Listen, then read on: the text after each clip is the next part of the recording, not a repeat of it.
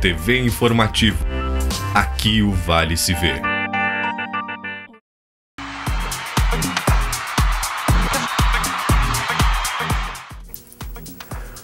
Olá, estreia do 0 a 0 no Campeonato Brasileiro. O Grêmio foi a São Paulo e não saiu do 0 a 0 com o Corinthians. O Internacional recebeu a Chapecoense, perdeu até pênalti e ficou no 0 a 0 em Porto Alegre.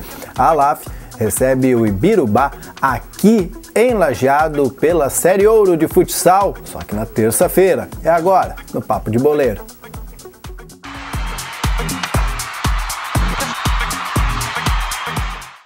E o fim de semana, o primeiro fim de semana do Campeonato Brasileiro. São 38 rodadas.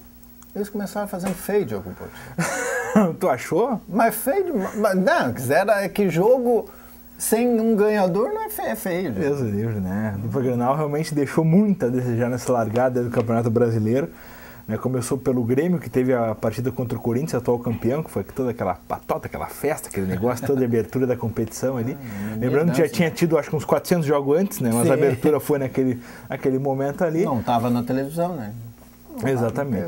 O Grêmio que vinha de, de, eliminações, o Corinthians também, os, ambos não tinham chegado nas decisões dos estaduais, estavam fora, caíram na mesma época na questão da Libertadores da América e fizeram um jogo de iguais. Assim, o Grêmio muito bem na marcação, uh, impôs seu ritmo ali, não uh, trancou as principais jogadas do time paulista. Por outro lado, o Corinthians até Uh, deixou um pouco a desejar em função em questão ofensiva mesmo. Né? O Grêmio teve, passou pouco trabalho, vamos dizer assim, Marcelo Groy. Foi mais a questão do ímpeto final mesmo. O Corinthians partiu o ataque ali na base da pressão do abafa, mas acabou não conseguindo uh, criar chances de gol claríssimas. Como o Grêmio teve, o Grêmio pelo menos duas vezes chegou no gol ali. O goleiro acho que era Valmir agora, deixa eu só me recordar que não jogou o Cássio, o Walter, o goleiro Walter do Corinthians, passou trabalho algumas vezes, principalmente o Bobô, teve uma, cara, uma chance claríssima na frente do goleiro, acabou estando para fora. Empate aí que foi melhor que o do Internacional. Né? Não tem como decorar o goleiro do São Paulo, do, do, do Corinthians. Esse o reserva, aí, né? O Cássio é, é, morreu a avó. O Cássio morreu a avó, isso aí. Aí o reserva se machucou enquanto estava aquecendo, né? Foi para o hospital. E o cara ligaram, oh, ligaram para o menino para comprar o é, banco lá. É. Se ele não pudesse pegar um gandula lá, só orienta tudo. E joga aí, veste aí qualquer coisa fica de reserva aí.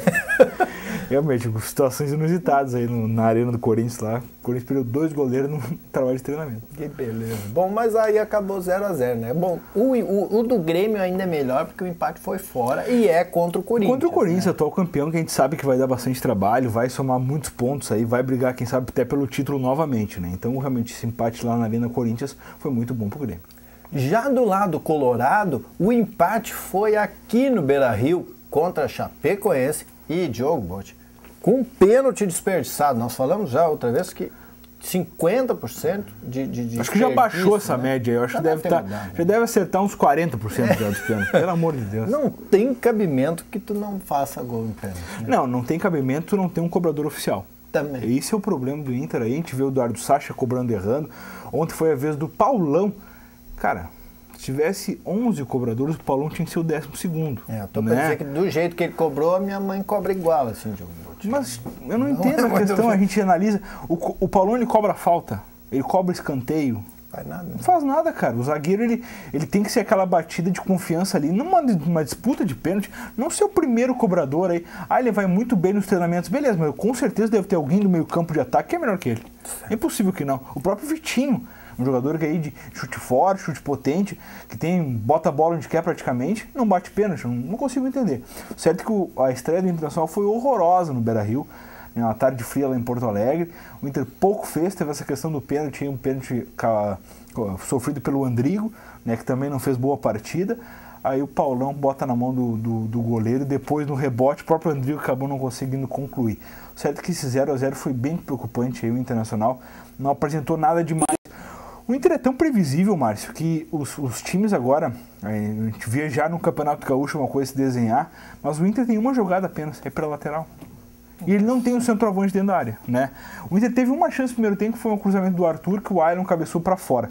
De restante, o Inter é um time totalmente previsível. O, o Chapecoense fechou, o Guto Ferreira, que conhece pouco o Internacional, né?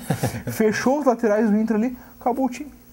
O Inter não teve uma articulação pelo meio, jogava com o Andrigo solto pelo meio campo, não, a bola não chegava no Andrigo. Era só para os laterais, William, Arthur, William, Arthur. O Sacha movimentando pelo lado, o Vitinho pelo outro, o Alan vindo de trás. O Inter realmente não conseguiu criar nada nessa partida acabou ficando 0x0, 0x0 aí que marcou agora sim a despedida do Alisson, camisa do Internacional. É, isso aí, terminou mal, né? Tava terminando tão bem, né? Com, com uma vitória no Campeonato Gaúcho, agora terminou com um empatezinho. Não é ruim, mas também não é bom empate 0 a 0 em casa. O Internacional vai pegar o São Paulo, vai jogar lá em São Paulo. E o, por outro lado, o Grêmio recebe o Flamengo aqui na Arena, buscando sua primeira, primeira vitória na competição. Isso é fato que o Internacional nunca, nunca começa bem mesmo, né, jogo? Não, não, é uma vitória no início do Inter. Primeiro jogo do Internacional no Campeonato Brasileiro, uma não, vitória. são esses pontos, Deve né? ter sido em 70. Esses né? pontos que acabam fazendo falta lá no final. Porque é. o Campeonato Brasileiro é aquele negócio, todo, todo jogo é igual. Ah, mas vale mais. Não, não vale mais. Vale a vitória é 3 pontos, o empate é 1, a derrota é 0. A pontuação é a mesma nas 38 rodadas. Então, desperdiçando ponto com a Chapecoense em casa, tu acha que o Inter vai ganhar a Chapecoense lá? Não ganha. Não ganha. Vai tomar 5 de novo ainda. Então, não dá para entender realmente essa política de, ah, não, agora nós vamos no próximo jogo. Vai ganhar de São Paulo agora. Pensa, quarta-feira tem Atlético Mineiro e São Paulo.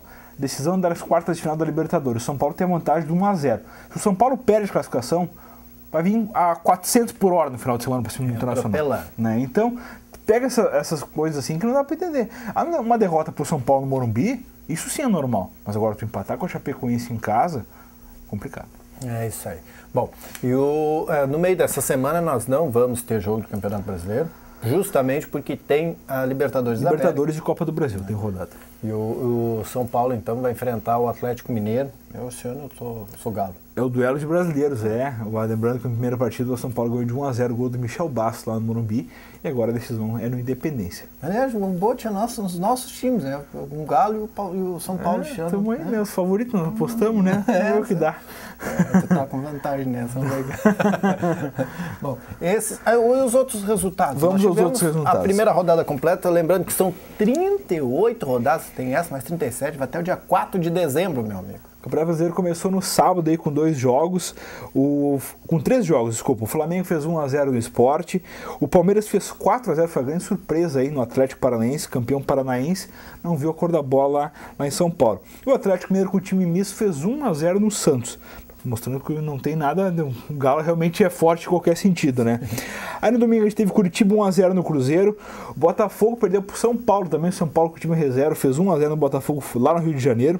Aí no domingo Santa Cruz com show do Grafite, é o veterano centroavante aquele, fez dois gols na vitória do Santinha, 4x1 sobre o Vitória.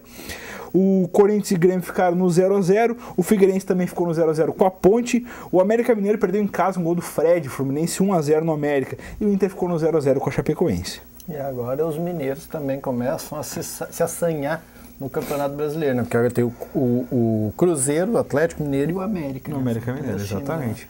E o Rio Grande do Sul aí que tem a representatividade do Brasil, começou bem também a Série B, né? Vencendo 2 a 0 o Paraná. Verdade. Pelo menos na Série B nós temos mais um. É, o Brasil que tem, formou, buscou e depois aquela campanha que ficou devendo no Campeonato Gaúcho, né? Fez pouco aí no Gauchão, o Chavante, buscou alguns reforços e a primeira vitória aconteceu. Já um jogo complicado com o Paraná, fez 2 a 0 lá no Bento Freitas. Pois é, tava olhando aqui, restam dois catarinenses na Série A, né? A Chapecoense e Figueirense. Exatamente. O é. Havaí e o Criciúma estão na Série B, e junto com o Joinville. Isso aí. Agora, o, o, o além de, de São Paulo e Rio, então Minas Gerais aqui aparece com mais destaque.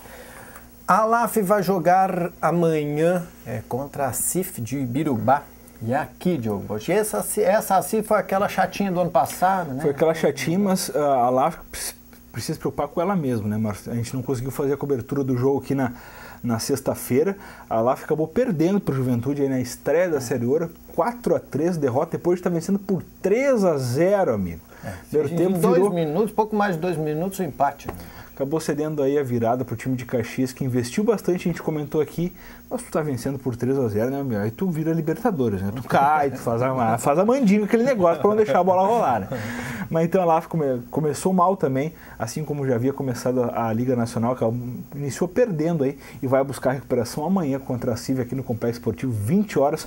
Hora o torcedor começar a apoiar mais aí que o time do Lajeado tá precisando. É isso aí, é importante a tua participação, a tua presença lá no estádio. Leva a almofadinha, vai cedo. Lá no, no Complexo Esportivo da Univate, sempre vai estar gelado.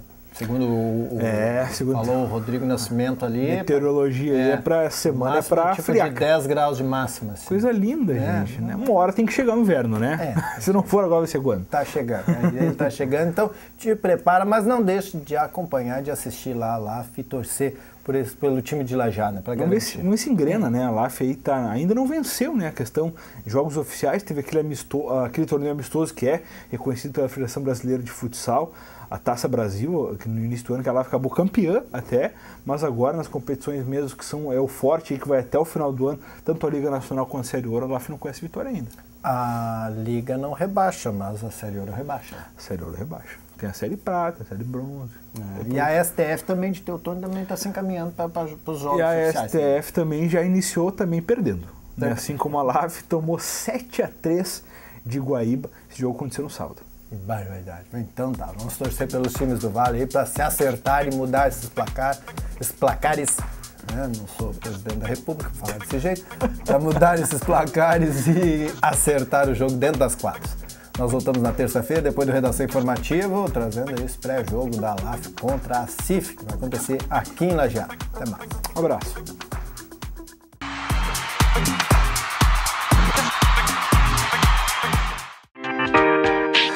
TV Informativo. Aqui o Vale se vê.